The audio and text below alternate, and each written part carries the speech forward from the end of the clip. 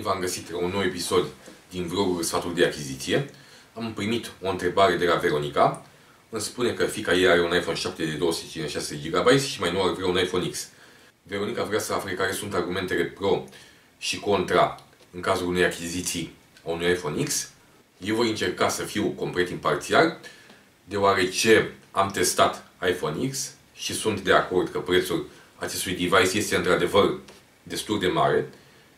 Varianta de 64 de giga costă 53 de milioane de lei vechi sau 54 de milioane de lei vechi, haideți să zicem pe lei noi 5399 de lei și varianta de 256 de giga costă peste 6000 de lei.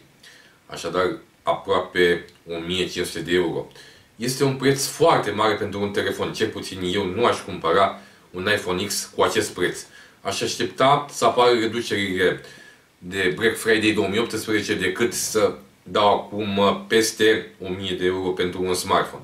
Eu am achiziționat în iunie un Samsung Galaxy S8 cu prețuri de 3000 de lei, așadar jumătate din prețul unui iPhone X de 256 GB. Și pot să spun, m-am jucat cu iPhone X, este un device cu un design extrem de atrăgător. Puteți vedea un clip pe pagina de YouTube rurat.ro. Haideți să inserăm câteva imagini din acel clip.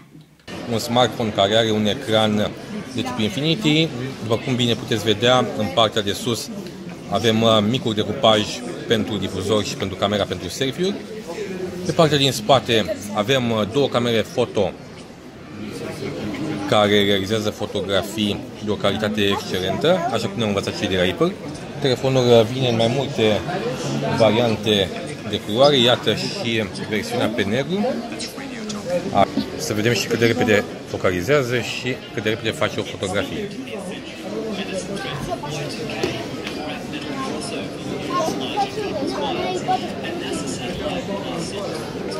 Ecranul oferă un feedback tactil la apăsarea butonului declanșator al aparatului foto.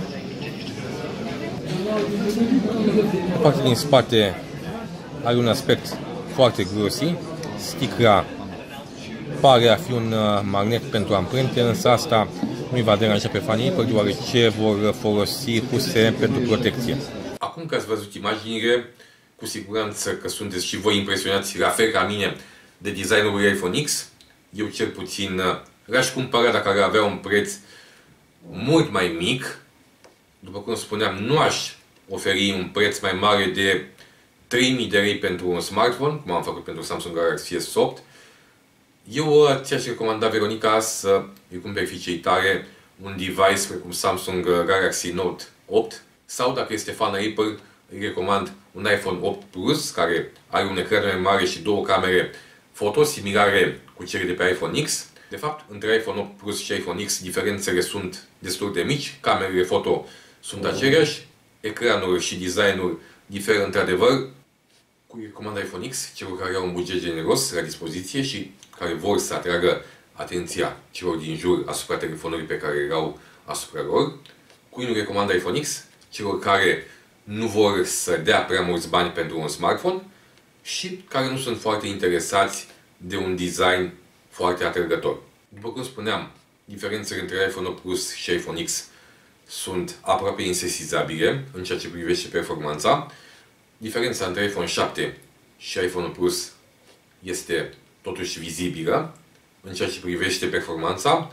Avem un alt chipset, avem tehnologii noi încorporate. Evident, diferența între iPhone 7 și iPhone X este una foarte mare în ceea ce privește designul. Eu am două variante pentru tine, Veronica, și pentru ceilalți urmăritori care vor să achiziționeze un iPhone X sau să facă un upgrade de iPhone 7 la iPhone X. Ei bine, acestea sunt 1. Așteptați până la anul când iPhone X se va ieftini, cât de cât, să sperăm că va avea un preț mai mic de 4500 de lei, varianta de 64 de GB, și drept cred că la anul, în timpul reducerilor de Black Friday, vor fi prețuri ceva mai accesibile. Sau, a doua variantă, să achiziționați un iPhone 8 sau un iPhone 8 Plus, deoarece diferențele de performanță sunt, după cum spuneam, aproape insesizabile față de iPhone X. Aștept cu interes părerile voastre despre acest sfat de achiziție și vă invit să mă adresați și alte întrebări.